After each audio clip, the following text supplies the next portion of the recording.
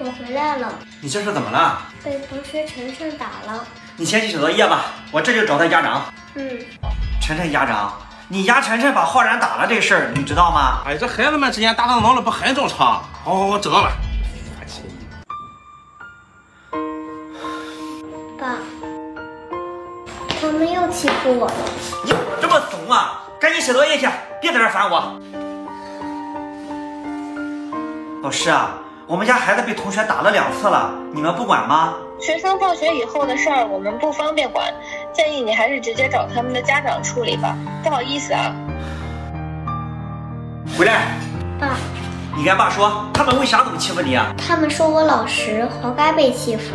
那你为啥怕他们？不，我不怕，我是觉得父母照顾我们不容易，不想添麻烦。晨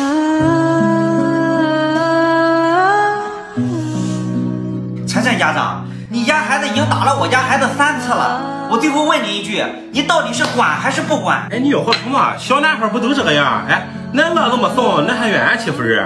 我跟你说，恁乐要是把俺乐打了，你还能给我打电话？你这不讲道理啊、哎，那么你还得怎么了？哎，孩子之间的矛盾让他们自己解决不就行了？你还想升级成咱家长之间的矛盾，还把事儿弄大了？那行，那就让孩子们自行处理吧。哎呀，你爱怎么地怎么地吧，我很忙，你别给我叨叨了啊！爸，我要去学校了。等一下，今天再要是被欺负了，就别回家了。可是我怕伤着他们。儿子，咱不惹事儿，但咱也不怕事儿。